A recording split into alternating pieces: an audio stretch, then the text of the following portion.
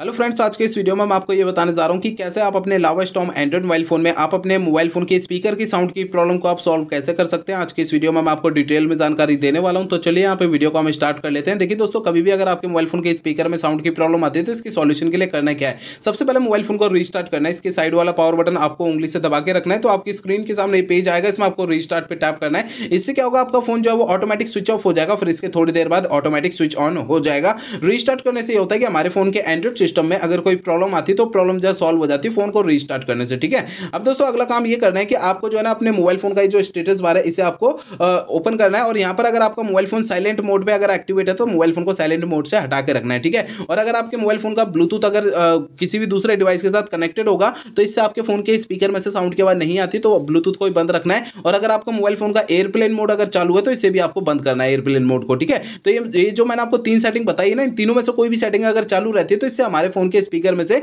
Sound की आवाज़ नहीं आती है तो इन तीनों सेटिंग को आपको बंद रखना है, ठीक है? इन्हें आपको तभी चालू करना है जब आप इनका यूज़ करेंगे, बाकी समय बंद करके रखना है, ठीक है? अगला काम ये करना है मोबाइल फ़ोन का आपको सॉफ्टवेयर चेक करना है कि अपडेट है या नहीं है। इसके लिए फ़ोन का इंटरनेट आपको चालू करना है, इसके बाद फ़ोन का सेटिंग पेज ओपन करना है। सेटिंग पेज में आपको जो है ना, नीचे की साइड सिस्टम पे टैप करना है। इसके अंदर आपको नीचे की साइड सिस्टम अपडेट पे टैप करना है। अब आपको इस वाले पेज पर कोई भी अपडेट का बटन या डाउनलोड इंस्टॉल यहाँ पे लिखा हुआ दिखाई देता है, उसे टैप करके अपने फ़ोन का सॉफ्टवेयर अपडेट कर लेना, जिससे आपके फ़ोन के स्पीकर की साउंड की प्रॉब्लम सॉल्व हो जाएगी। अगला काम ये करना है कि आपको है ना अपने मोबाइल फ़ोन का जो स्पीकर होता है, उसे आपको हल्के हाथों से साफ़ करना है। होता क्या है कि मोबाइल फ़ोन के स्पीकर में थोड़ी बहुत धूल मट्टी चिपक जाती है, जिसके कारण साउंड की प्रॉब्लम आती है। तो मोबाइल फ़ोन के ना स्पीकर को हल्के हाथों से साफ़ करना है, ज़्यादा ताकत, दबाव या प्रेशर नहीं लगानी है। नहीं तो स्पीकर के अंदर के जो पार्टिकल्स हैं, वो डैमेज हो सकते हैं फ़ोन का स्पीकर बिल्कुल ही खराब हो सकता है तो इसलिए ध्यान रखना है, हल्के हाथों से साफ़ करना है, ठीक है?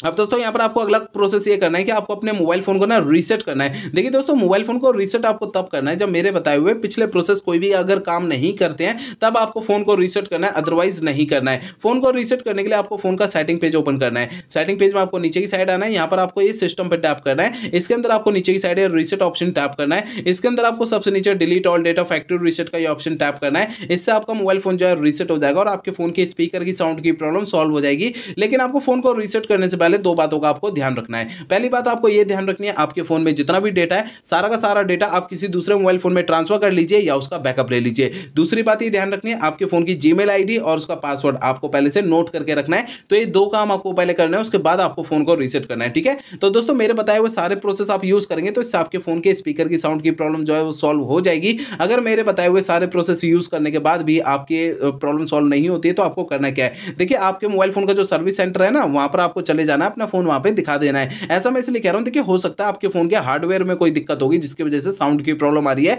क्योंकि मैंने आपको इस वीडियो में जितने भी सॉल्यूशन बताए हैं, वो मोबाइल फ़ोन के सॉफ्टवेयर के ज़रिए बताए हैं, ठीक है?